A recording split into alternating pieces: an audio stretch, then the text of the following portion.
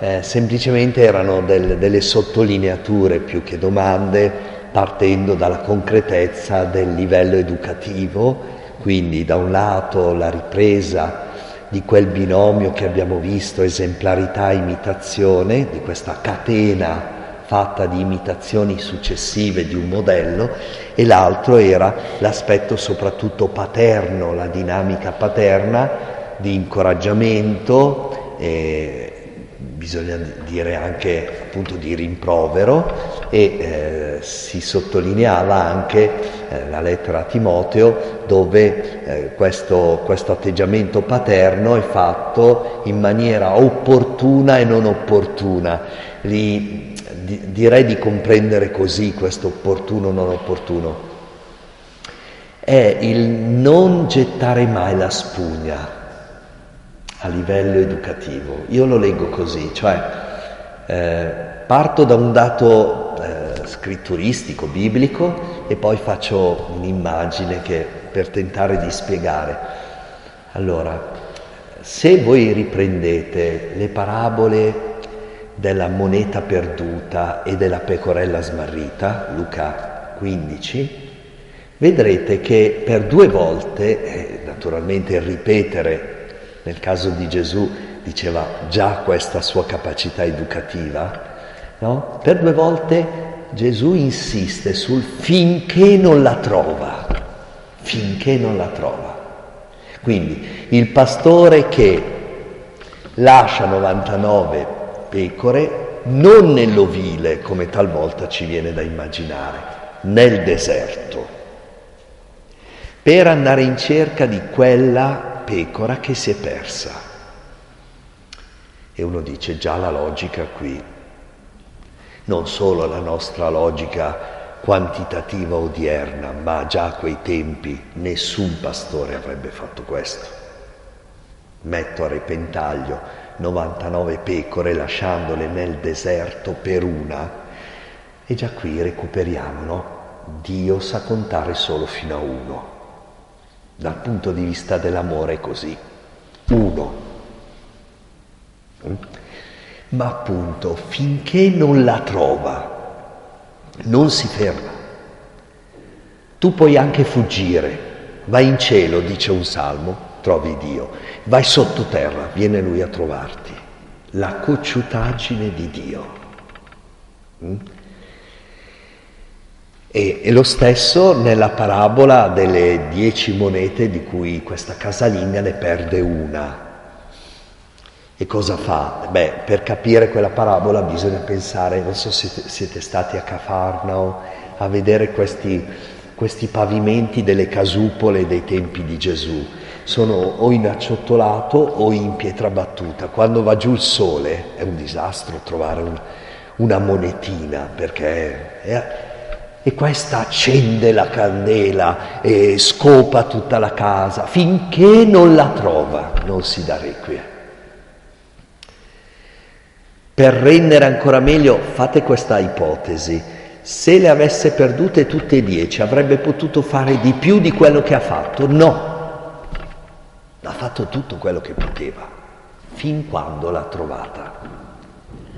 Ecco, l'insisti insisti anche in tempo non opportuno, non vuol dire eh, che ogni volta che tuo figlio non vuol venire in chiesa devi fargli una testa tanta, perché ottiene esattamente il contrario.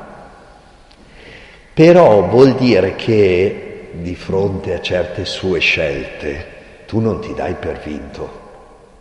Tuo figlio piuttosto che appunto uno dei più piccoli del regno che ti sono affidati, tuo nipote, insomma, ci tieni così tanto che non ti dai per vinto, finché non la trova lui, cioè finché tu riesci ad essere strumento di Gesù Cristo. Ecco, io leggerei così la cosa.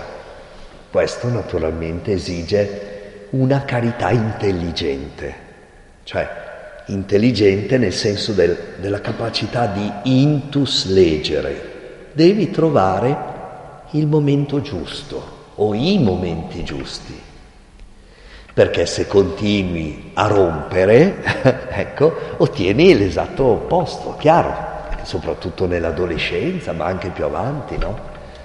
Però non ti dai per vinto, perché? Perché non è uno dei tanti, è lui, è lei, e in amore vale lui, lei.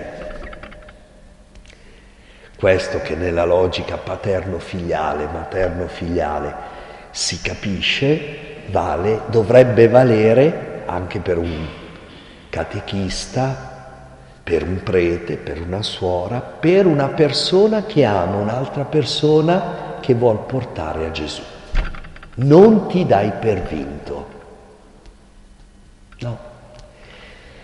Per cui non vale quella logica, mi dispiace, spero di non toccare ferite, ecco, ma non vale quella logica del darò il battesimo, no, non do il battesimo se lui vorrà a 18 anni o quando è grande deciderà. Ma che ragionamento è, figlio mio? Eh, tu mamma aspetti a 18 anni a dargli il latte, vediamo se decide bene. Eh no, eh, il latte è buono, gli serve, glielo do, ci credo e siccome lo amo glielo do non gli dai il vestito quando si accorgerà di aver freddo, glielo dai subito. Perché? Perché il vestito è utile e perché tu ami lui. Metti insieme le cose. E così per il battesimo. Se per te Gesù Cristo è il tesoro, non puoi dire vediamo, deciderà lui. No, io cerco di, di partecipare del mio tesoro a lui. Perché? Perché gli voglio bene. Eventualmente sarà lui dopo a decidere no mamma, io non ci credo. Va bene figlio mio, cioè, però io farò tutto il possibile per condurti da Gesù Cristo. Con quell'atteggiamento della trofos, della balia, cioè sapendo che non ti devo appiccicare a me, ti devo portare da lui. E sapendo che a un certo punto fuori dal nido ti dovrai inginocchiare non davanti a me, ma davanti a Gesù Cristo. Lui è il Signore della tua vita, però siccome è il Signore anche della mia e so che in Lui c'è salvezza, cerco di portarti da Lui, come cerco di insegnarti i valori grandi della vita come cerco di darti le cose buone della vita. Eh, mi sembra la stessa logica che talvolta non, non sembra evidente agli occhi di alcuni genitori o di alcuni educatori. A me sembra di un'evidenza proprio solare.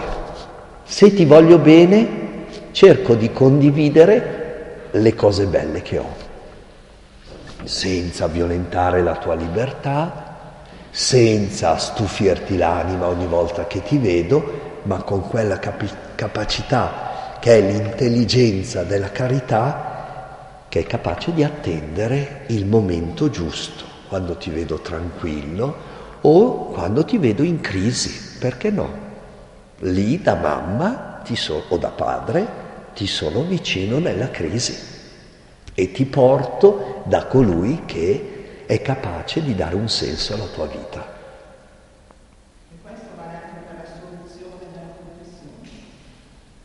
E lì bisogna, bisogna vedere, evidentemente dietro questa domanda eh, bisogna vedere dov'è lui, dov'è lei. Questo vale anche per la soluzione nella confessione.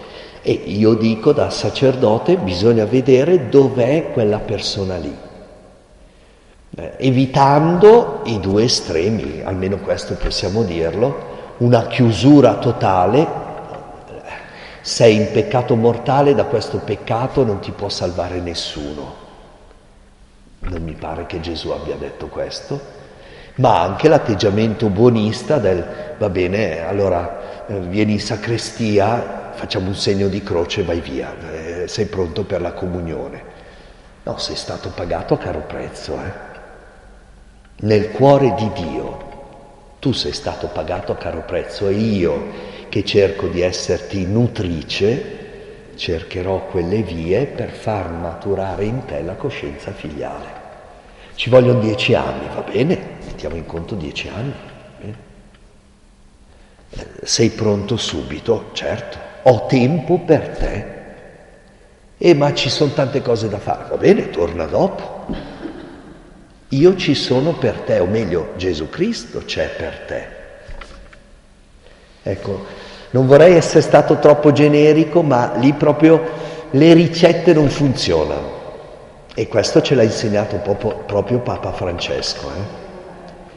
Discernimento, discernimento personalizzato.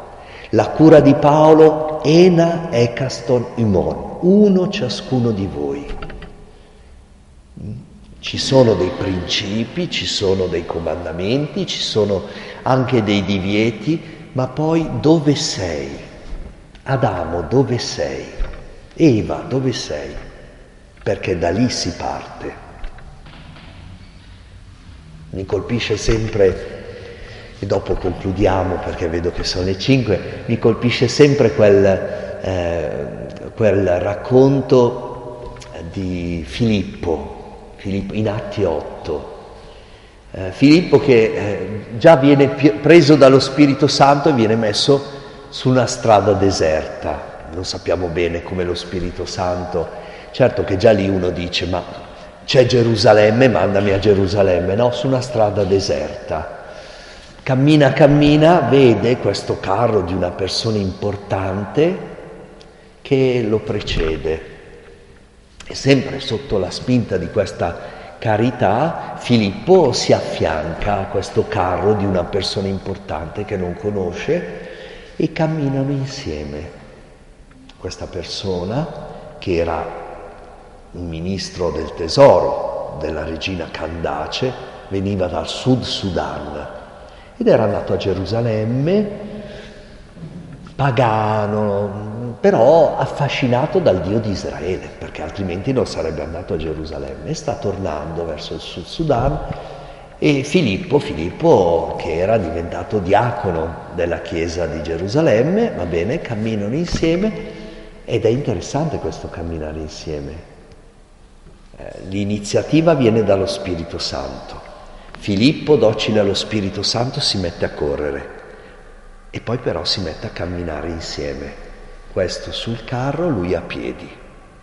E sente Filippo che questo eh, ministro del tesoro eh, si vede che è ricco ma non sa neanche chi è, vede la pelle probabilmente più scura ma non lo conosce sta leggendo uno dei testi misteriosi dell'Antico Testamento, il quarto carne del servo sofferente di Isaia, l'uomo dei dolori che ben conosce il patire, uno di fronte al quale ci si copre la faccia, è stato castigato per i nostri peccati, ma Dio l'ha esaltato. E allora non si leggeva a bassa voce, non si leggeva mentalmente, si declamava, era l'abitudine. E quindi Filippo sente e gli dice, prende l'iniziativa, ma tu capisci cosa stai leggendo? E questo uomo colto probabilmente dice no. E allora sale sul carro e partendo dal quarto carne del servo sofferente, mentre vanno, eh, gli spiega Gesù, la vita di Gesù, a tal punto che, affascinato dal racconto, questa persona straniera, colta, pagana, chiede a Filippo, ma cosa mi impedisce di essere battezzato? Ecco, questa è, è una buona immagine. E dopo Filippo lo battezza e poi si dividono. Questa è una buona immagine dell'accompagnamento della confessione, sì. Dove, dove sei? Io ti devo piano piano far da specchio, far da specchio, cioè portarti di fronte a Gesù. E dopo, e dopo da, quella, da quel rapporto dove sicuramente soffia lo Spirito di Gesù, perché è un sacramento, nascono tante cose belle. Nasce il perdono, ma un perdono non magicamente inteso, ecco, quello che un perdono che sgorga dalla situazione concreta.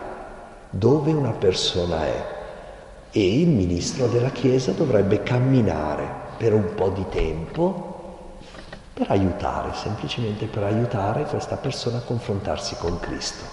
E poi, poi con la libertà no, di cui si parlava prima, lasciare che questo continui la sua strada nella vita.